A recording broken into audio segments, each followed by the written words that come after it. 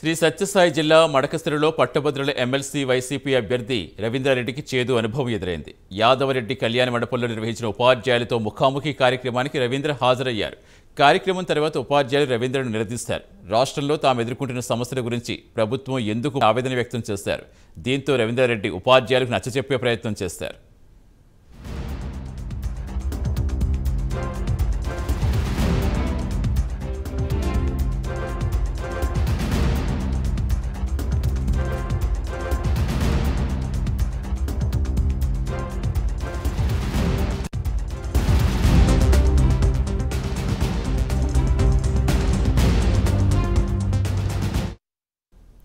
పూర్తి సమాచారం ఇచ్చేందుకు మా కరస్పాండెంట్ కేశవ్ జరుగుతున్నారు. కేశవ్ అధికార పార్టీలో ఉన్న వాళ్ళు ఎక్కడికి వెళ్ళినా సరే ఏదో ఒక ఆటంకం జరుగుతున్న ఆనంద్ చేసిన వ్యాఖ్యలు ఈరోజు ఈ విషయంలో మళ్ళీ నిజమయ్యాయా అనిపిస్తోంది. అంటే ఇప్పుడు ఉపాధ్యాయులు ఇంకా ఏమని ప్రశ్నించారు? రవీంద్ర ఎలాంటి ఆన్సర్ ఇచ్చారు? ఏం చెప్తున్నారు అక్కడ? Thank you Satish. Shri Sathya Sai జిల్లా మడసిరం నియోజకవర్గ కేంద్రంలోని యాదవ కళ్యాణ మండపంలో నిన్నటి రోజున ఉపాధ్యాయులకు విద్యా బోధనలో విలువలు అనుసంధానం అనే కార్యక్రమంపై అఫిషియల్ కార్యక్రమం నిర్వహించారు. ఈ కార్యక్రమంలో నియోజకవర్గం నుండి దాదాపు ప్రభుత్వ ఉపాధ్యాయులందరూ ఈ సమావేశానికి హాజరయ్యారు.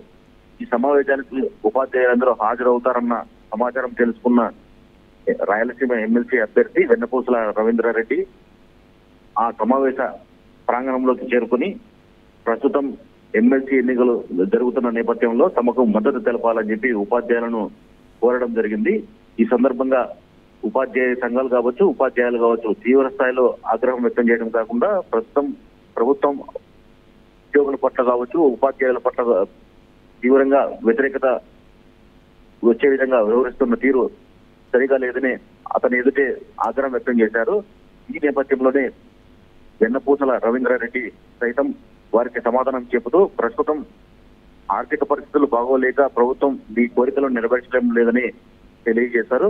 అయితే ప్రస్తుతం చూసుకున్నట్టయితే ఉపాధ్యాయులు గతంలో తమకు సీఎం జగన్మోహన్ రెడ్డి హామీ ఇవ్వడం జరిగిందని ఆ హామీ మేరకే తాము ప్రభుత్వంపై ఒత్తిడి తీసుకొస్తున్నాం తప్ప మేం ప్రస్తుతం ప్రభుత్వం తీరును తప్పుపట్టడం లేదని ఉపాధ్యాయులు తెలియజేశారు. ఈ నేపథ్యంలోనే వెన్నపూసల రవీంద్ర రెడ్డి ప్రస్తుతం ప్రభుత్వానికి తమ ఉద్యోగుల వినతిని తెలియజేస్తామని తెలపడం జరిగింది Satish. Right thank you Keshav ఉపాధ్యాయ ఉప- అయితే సభా ప్రాంగణంలో ఉపాధ్యాయులు సమావేశం నిర్వహిస్తుండగా ఈ సమావేశానికి మీరు రాకూడదంటూ అభ్యంతర అభ్యంతరం తెలపడంతో పాటు ఇక్కడికి వచ్చి ప్రచారం నిర్వహించకూడదని తీవ్రస్థాయిలో మండిపడమే కాకుండా ప్రస్తుతం రాష్ట్ర ప్రభుత్వం ఉద్యోగులను కావచ్చు ఉపాధ్యాయులను కావచ్చు చిన్న చూపు చూస్తోందని ఇది మంచి ధోరణి కాదని తీవ్ర స్థాయిలో ఆగ్రహం వ్యక్తం చేశారు. ఈ నేపథ్యంలోనే ప్రభుత్వం ఎమ్మెల్సీ ఎన్నికలలోపు సరైన నిర్ణయం తీసుకుంటే తమ మద్దతు ఉంటుందని లేని పక్షంలో తీవ్ర ఇబ్బందులు పడాల్సి వస్తుందని చెప్పి తీవ్ర స్థాయిలో ఎమ్మెల్సీ అభ్యర్థిని హెచ్చరించారు Satish. Right thank you Keshav